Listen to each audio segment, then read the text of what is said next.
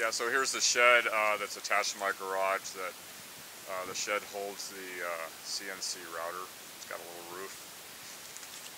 Yeah, here's the PC computer that controls uh, the stepper motor electronics. Uh, there's an electronic unit, one for each of the three axes, X, Y, and Z. Here we are inside the shed. Um, it's insulated so I can heat it in the winter and cool it in the summer.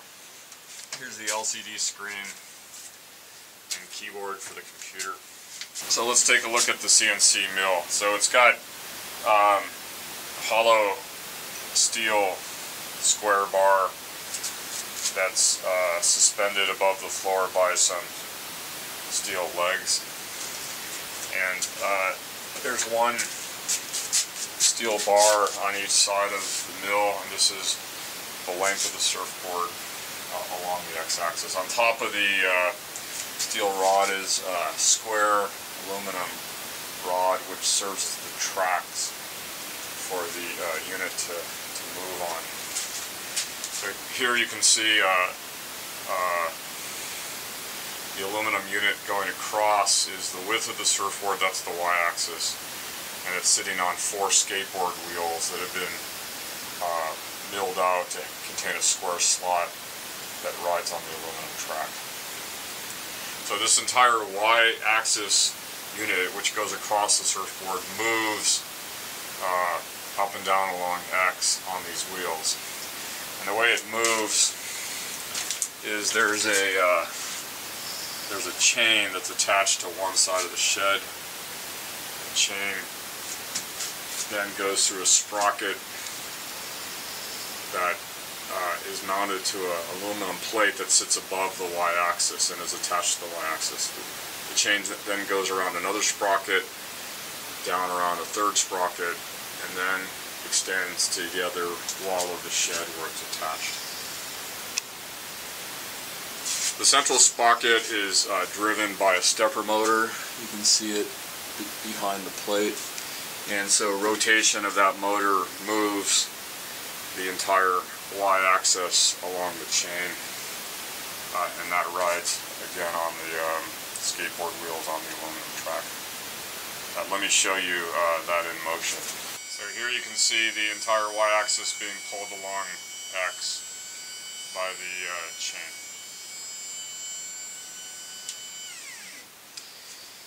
So the y-axis moves independently of the uh, x-axis, of course, and it, it um, it's driven by its own stepper motor that's mounted on the end of the y-axis. There it is. You see it in the back. And it turns a threaded rod. Here you can see the threaded rod. The threaded rod runs through a, a nut, a threaded nut that's mounted into an aluminum plate. Here you can see the threaded nut.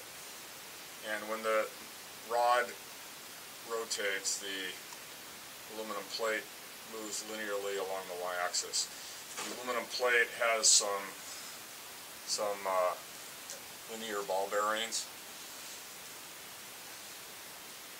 Here they are here. And these linear ball bearings uh, travel on these polished uh, steel rods. Uh, let me show you the uh, y-axis in motion. So you can see the uh, the y-axis block, the aluminum block traveling towards uh, to the left here, towards me. And this can move, of course, independently of the x-axis. Mounted to this traveling aluminum block, mounted underneath, is, is the z-axis. And the z-axis moves independent of the y-axis. Uh, it has its own stepper motor. Here it is. And it's just like the y-axis. It has a threaded rod, which turns through a threaded nut, which is mounted in this brass bar that travels on these polished steel rods, again using linear ball bearings. The brass that travels has a plate uh, and the router is, is bolted to this plate. So here's the Z-axis moving down.